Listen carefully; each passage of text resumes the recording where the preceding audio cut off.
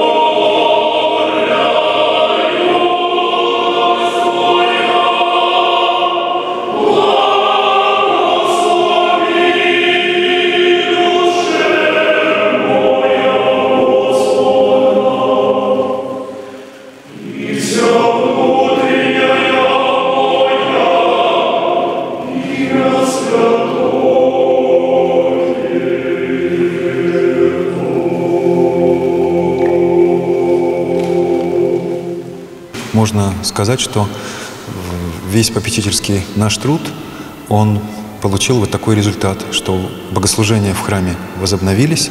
Мы прошли 15 лет э, для того, чтобы все это стало возможным. 15 лет назад это тоже знаменательная дата в истории Кончезерской церкви. 15 лет назад был создан фонд попечителей для того, чтобы вести реставрацию старинной церкви – памятника архитектуры XIX века –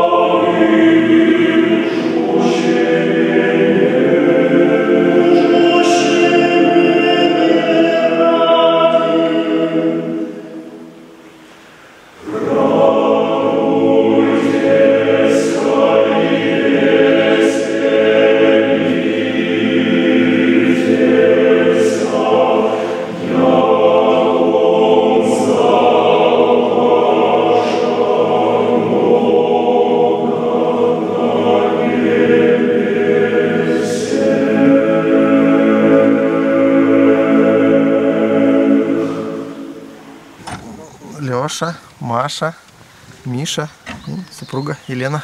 Наша семья. Скажите, пожалуйста, ну как у вас впечатление вот от хора, от... э, Ну, замечательные. Очень понравилось, детям очень понравилось. Да. А чем он тебя затронул? Голосами, звучанием? Вот что в тебе в душе? Звучанием. Звучанием, да? А ты не играешь на каком-то инструменте? Ну, я хотел бы, Пока нет. Да. А чем понравился хор? Э, Голосами и звучанием особо, да. Ты в школе учишься еще? Да. В котором классе? Но перехожу в шестой после лета. А, понятно. А раньше хор где-то слышал в храме? Нет, Первый раз? да. Мне очень понравилось. Да. Как ты? Э, Мне тоже понравилось. Мне понравилось и звучанием, и красотой. Да. Слушай, а сам храм? Сам храм тоже понравился по красоте. Здорово внутри, очень здорово. Очень понравилось. Очень акустика хорошая, ощущения приятные очень. И тут место такое намоленное. Место очень хорошее, да. Вы раньше где-то были в храме еще в каком-то? Ну, мы ездили в Оптину пустыню несколько раз. Да, посещали, я тоже там да. была. Очень красиво там, да. Да, как впечатление от нашего? Хороший, красивый храм, да. Amén.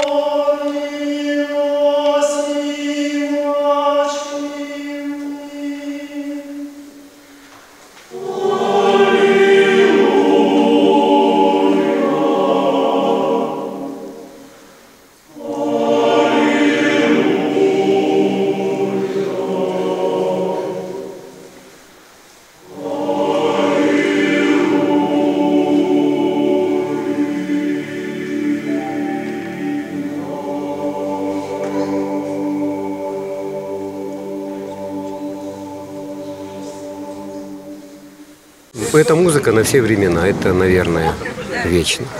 У меня такое чувство, что я, э, что я как просветление какое-то. Спасибо, да, правда, до глубины души.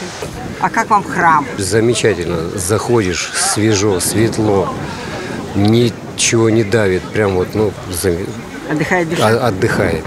И тело, и душа, и... Акустика, хор, и э, внутри все сжимается до мурашек.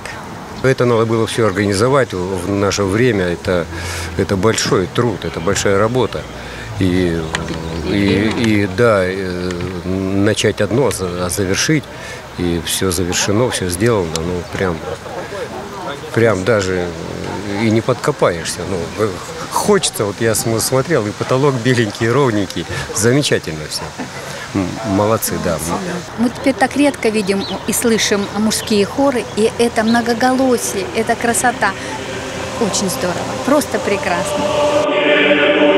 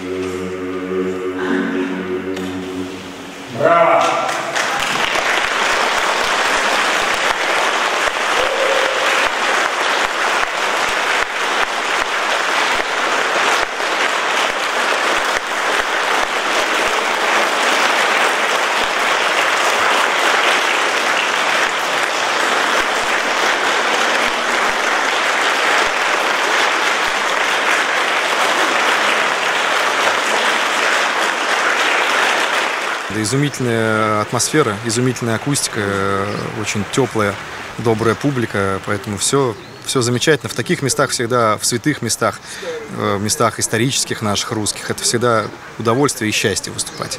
Я восхищаюсь тем, что делает Олег Анатольевич, и э, вот все, что касается с моей стороны, я счастлив приложить какую-то вот свою маленькую, незначительную лепту к реставрации этого замечательного, изумительного храма. Вот, и я желаю, чтобы поскорее у него нашлись средства, нашлись меценаты, спонсоры, которые дадут денег на реставрацию фасада, потому что внутри просто уже ангельски все выглядит. Вот. Осталось вот вроде бы кажется совсем немного, но я представляю какой-то колоссальнейший труд и какие-то большие деньги. Поэтому, может быть, найдутся люди, может быть, такими концертами, какими-то мероприятиями, и мы тоже будем как-то привлекать э, наших потенциальных меценатов.